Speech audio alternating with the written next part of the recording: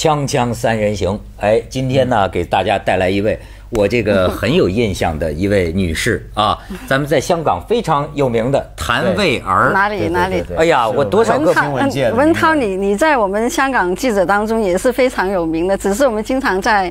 镜头前面看着你，哎，真的吗？多说两句。对，我我也是啊，是第一次真人见你。我以往以往都是在电视上见你，电视上与你神交。哎呦，今天是第一次跟你见面。哎呦，原来咱俩神交这么多年了。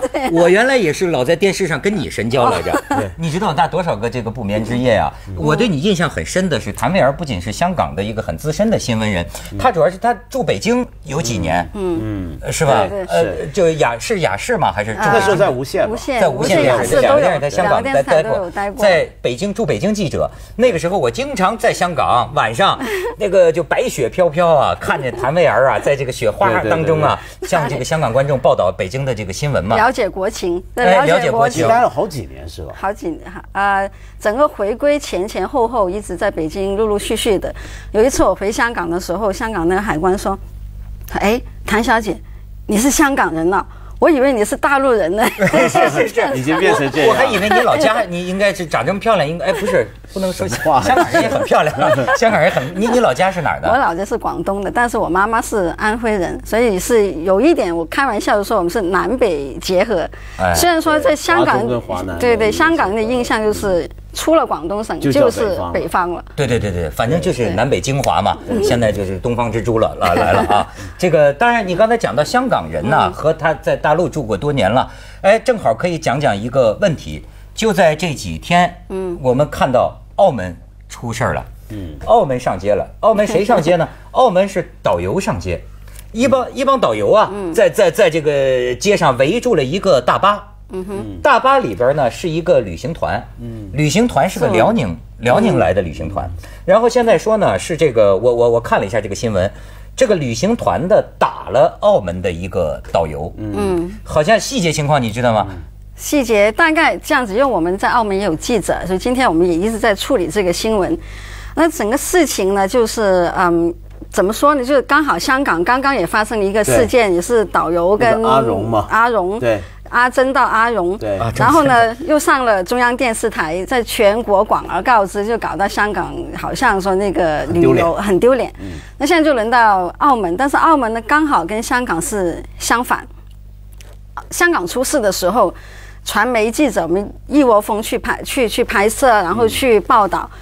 一开始的时候都是枪口都是对着香港的，没有怎么样去讲那个内地的游客，直到。发生了一件事情，到后来呢，是我们香港的旅行团花了十二万，我们叫做广东话叫掩口费，呃，给钱，给钱把那事情摆平了，给那个大陆的游客，给大陆游客，然后在香对香港就引起很大的争争议，就对大陆的游客也开始有意见了。那刚好就在这么一个时刻呢，澳门这件事情发生，对香港来说，我们就有一很非常的感同身受。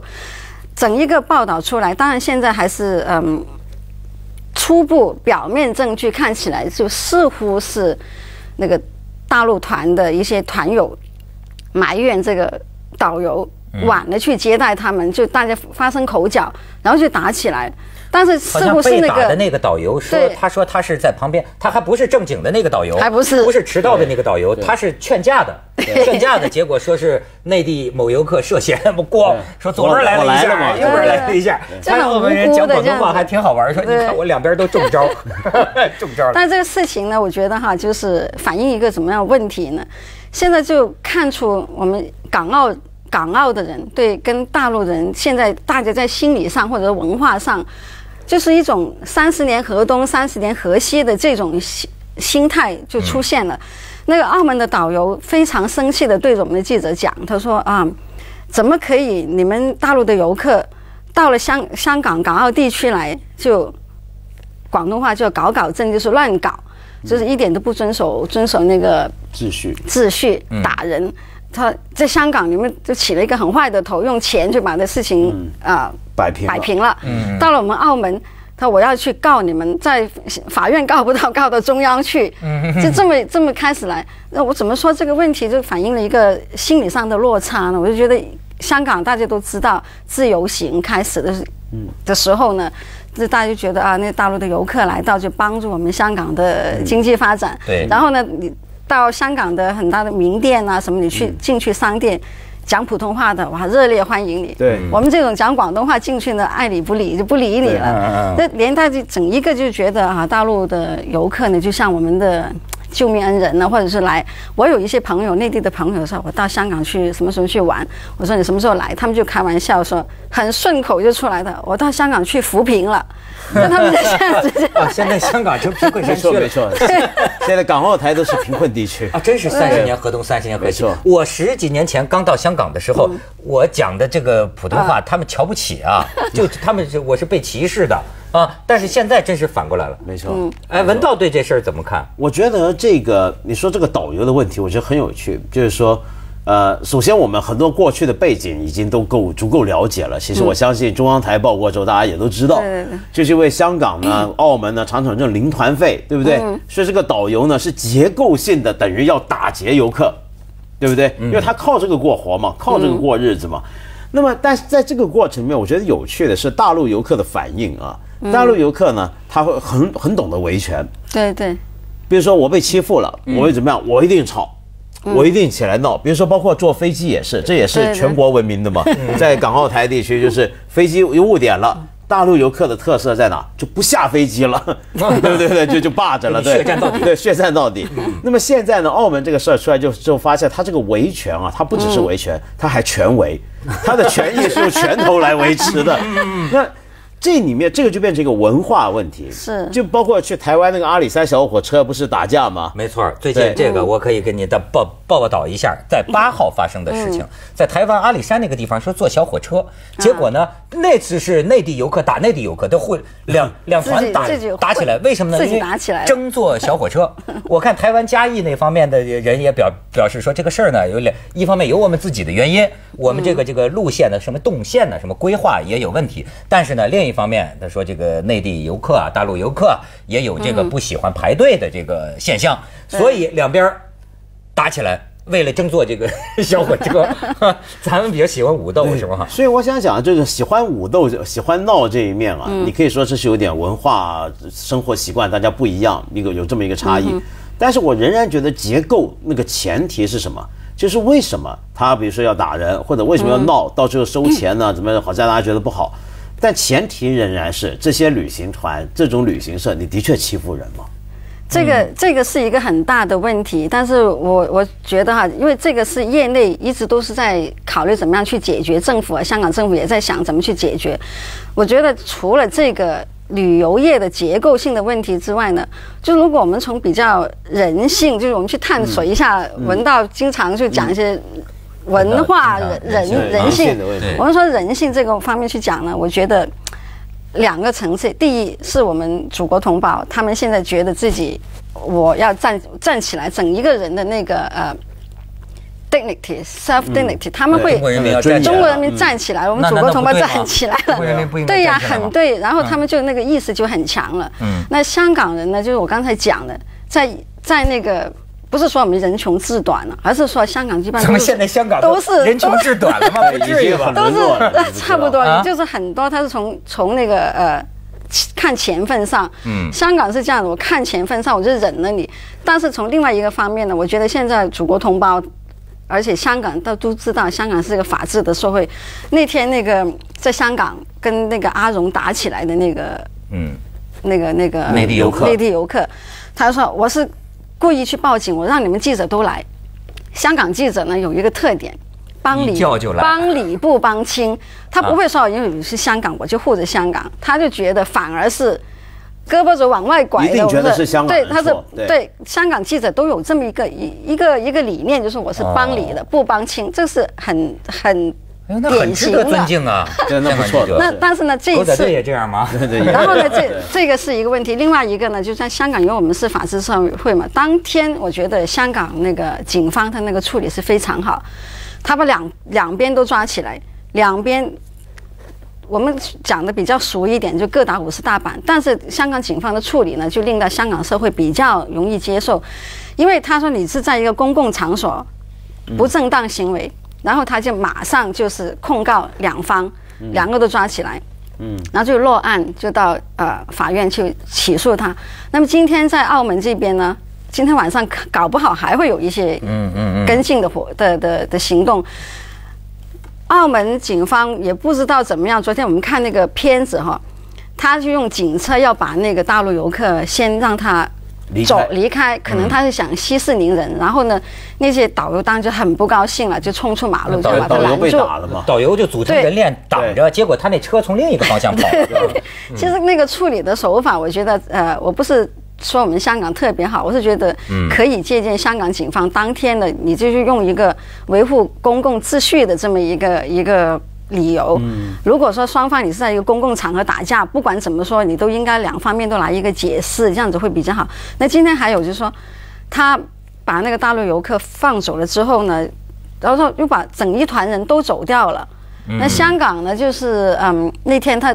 毕竟他都要上法庭，虽然说他背证人，对对，虽然他背后还是用花钱去去解决了，可是这个问题在香港又引起了很大的讨论，有没有那个妨碍司法公正？在香港人还是对那个法治社会那个概念还是很……但是这回澳门澳门导游还骂香港呢，说内地游客之所以动拳头，就是前一阵你们香港处理的那个太软了，就是那个等等，这很值得探讨。咱们广告之后接着聊，锵锵三人行，广告之后见。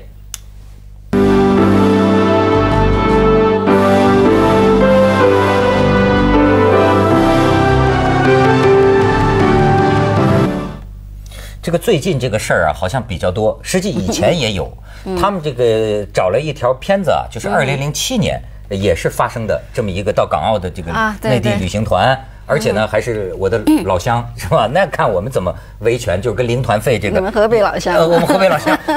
说你听听，我们河北老乡怎么说啊？这二零零七年的事儿。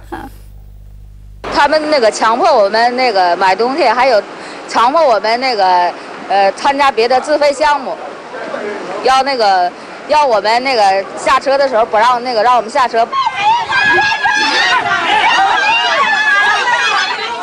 有团友声称俾警员推跌同埋殴打。哎呦，倒一倒一倒一。亦都有人坐喺警车前面阻止警察拉人。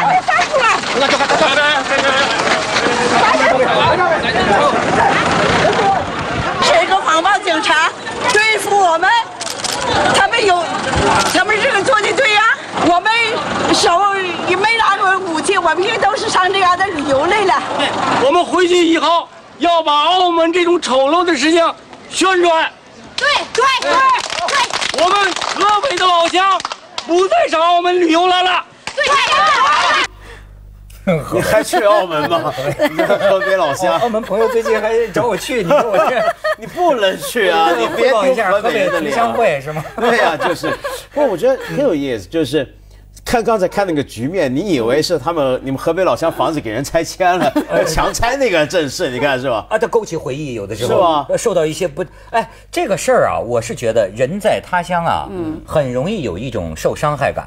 因为我对人生地不熟，你比如说我要跑美国也是，你突然两个警察截住我，我就会觉得有一种特别的受伤害，这是可以理解。而且啊，就是这个事儿，这个事儿我觉得呢，为什么说有有？所以说有时候他们说有些问题，比如说城管跟小贩打起来了，你光怪这个小贩或者光怪这个城管，这只是表面的，它背后有它的政策的这个原因呢。你比如说这次澳门的也讲啊，说澳门的一个导游说是收入分两半儿。一半是什么工资？另一半呢，就是必须游客得看演出，咱也不知道看什么演出。那你强迫他看演出，你说这个事情很容易打起来。接近零工资的也有，接近零工资。嗯，你包括你像这次香港讲的，表面上感觉我们这个内地游客有点这个扛不住腐蚀，是吗？就给一点封口费，就说算了，这事儿我就不说了。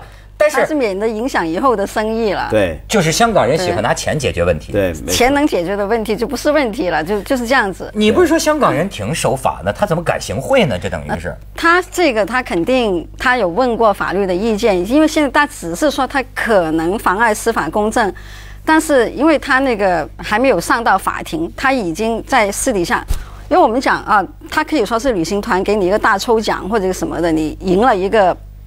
离开香港之前赢了一个大奖什么的，这这个要所有的东西你要上到法庭，法官说你是那个妨碍司法公正，那才是现在大家只是一个嫌涉嫌，嗯嗯，但是但这也可以引起一个讨论。那么我刚刚看这个画面，我又想起另外一件事情，其实哈。香港游、港澳游，当初中央政府推出来的时候，港澳我们大家都是非常感激，就觉得哎呀，真是来救我们。嗯，从什么时候开始觉得出现问题呢？其实还可以追溯到零七年，也是零七年。哦，在香港有一个旅行，有一个中央电视台的记者来香港旅行，然后他就去了一个商店黑店，买了冒牌的名牌。哦，然后他回去就做了一个特辑，中央台播出去，当时。对香港来讲是非常大的一个震惊，你知道为什么吗？因为呢，我们有一个呃信念，有一个就九七年之后，我们新闻界也好，或者说香港有一个这么一个传说，就说为了维护香港的稳定啊，一国两制，就说中央明示或者暗示有一个规定，就说国内的传媒。对香港的事只能是报喜不报忧，我们都知道，以为 内地传媒报喜不报忧啊。然后呢，不像香港的传媒就报忧不报喜嘛，说就说啊，在香港呢，在国内的传媒，特别是中央媒体，嗯嗯，出来的话，那个那个形象都是正面的哦。然后从零七年心理背景，所以震惊，非常震惊。零七年中央台那个特辑出来之后，整个香港那个那个。震惊啊，真是很难形容。我们自己当初也，咦，中央是不是改了什么策略？就感觉那是中央的声音，就不要不要吓坏了，吓坏了。然后还有一些报纸还写社论呐，就说啊，中央已经说。不会再把香港当做是一个掌上明珠了。你是不行的话，我还是要批评你的。就觉得整个中央的宣传政策都改了，就说香港你们自己要好自为之啊。就是从那个时候开始，就知道内地的媒体不会说对香港是一面倒，尽管可能之前也根本没有这么一个 规定。因为我也曾经问过一下中央电视台的一些朋友，我说你们是不是有这么一个规定？他说哪来的这么一个规定？不过不过是有一点有点文化上的默契，比如说我。在大陆写专栏啊，怎么样？其实我写过很多东西骂香港，因为平常我在香港就是喜欢骂香港嘛，从来没说过香港好话。但是我发现了，在大陆你要骂香港是很难的。嗯，就很多媒体他还是会过滤，他仍然会觉得哎，这个牵涉到香港，你要批评香港，这恐怕不。我说我香港人啊，他说还是不要啊，别别不太好。你看咱们大大陆同胞多善意，就是啊，去广告去广告，锵锵三人不止来给钱我们花，报一个报喜不？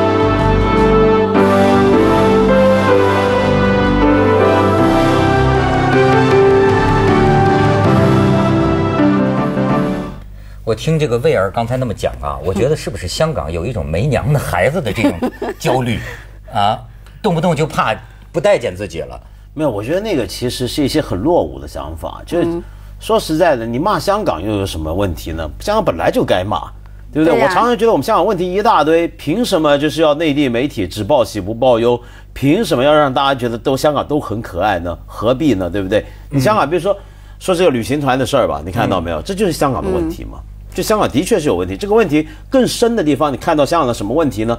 我们老说这有个结构，对不对？结构问题是什么？旅行团老收零团费，那这个但是为什么这种问题讲了这么多年止不住呢？那是因为香港唯一在管这种问题的那个机构叫旅游业议会。旅游业议会那个议会是个民间机构，嗯，那个机构是谁组成的呢？就是搞这些事儿的旅行社。就等于自个管自己，自己人查自己，你懂吗？自己管自己。那那为什么政府不干预呢？都是一人。对啊，政府为什么不干预？是因为香港从来都相信什么呢？就市场的自律，自己解决，政府不干预。结果就变成了香港，其实很多行业都有类似情况，就一些行业的巨头、行业的从业人员。在垄断，在制定整个游戏规则，那这个游戏规则可能从根本就有问题的，但没有人能够去解决它。而且你看，像你刚才讲的，我觉得我是大陆人，我很了解，有个观念上的问题。比如说啊，我们碰到了一个争执，碰到了一个问题，你知道我习惯的是什么？必须逮着他当场有个解决。嗯嗯，你可能对于法治是香港人来说，可能是觉得，哎，咱们去打官司啊，咱们去怎么着，通过找律师或者什么。我我觉着那个事情没人理你那个整一个过程太长了，没有文道刚才讲的非常好，就是说香港为什么香港人自己骂自己觉得没问题，大陆的媒体一骂香港，香港就觉得哎呀天要塌下来，那么那么震惊啊！特别是中央级媒体，嗯，这就是因为有一种感觉，就是说一国两制，我们好像是一个受保护动物一样，对，有有这么一一种错觉，或者说。多多少少当时也信以为真，是真的有这么回事。但是其实，既然我们自己都能够骂自己骂的那么狠，别人骂可能更加是对我们一个很促进。所以，所以呢，其实内地媒体现在香港就经过零七年那件事情之后，已经开始有一点猛醒了。嗯。但是呢，有两方面好的地方，就是说就知道啊，现在我们。祖国也不怎么待见香港了，你有你有什么问题就我代表祖国待见你们，不 只代表河北人民，河北人民多来香港。